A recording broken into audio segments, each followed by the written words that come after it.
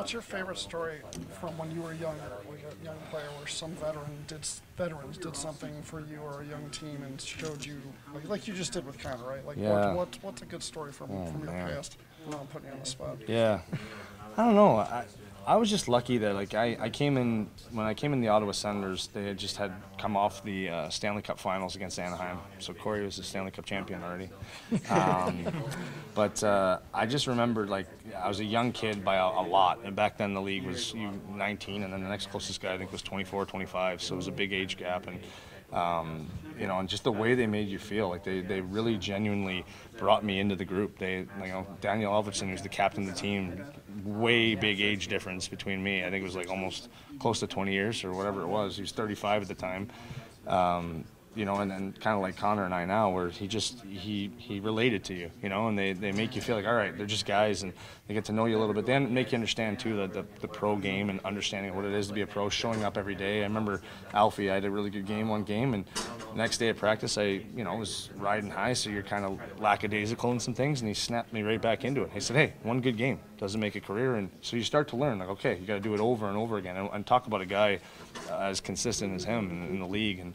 Um, so those are the things you remember and appreciate that they, you know, when they're giving you this information, it's not to pound their chest, it's to, to it's to help, you know. And I think if you can take it that way, it's it's amazing how much you can soak up as a young player and even as an older player. And I talk about now, I get to learn from young guys, like what the way they come in, and you know, it's a lot different than when we came in. So it's it's really cool how you just never stop learning, and uh, I think that's what makes great teams.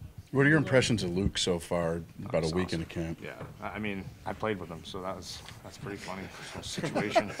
um, I remember actually walking into the room uh, when I was 19, and I saw Luke, and he looked at me and goes, "I gotta effing retire." That's what he said. That's funny. Um, so it's cool that uh, you know I get to work with him again because I respected him so much. He was already like a coach that year, and um, so to see him now and, and to see the opportunity that he's getting that he's deserved in the league is, is really cool. And I just think he's he's so detailed. He cares a lot about the group, and um, you know he's a guy that I respect, and I know that he's got our best interest at heart. You know, and I think that when you have a coach like that, you really you want to play well for him, and I think it just makes your group come come that much together. So uh, I'm looking forward to getting going with him.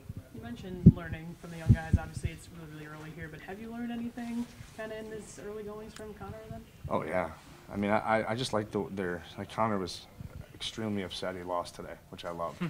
Honestly, I was like looking at him, he's like kind of pouting over there, and I, I, I just love that. You know, like, yeah, you know, everything matters, right? Especially in training camp, and so you already you're already seeing kind of the the competitive nature of some guys, and you know how guys come into the room and how they act and carry themselves and.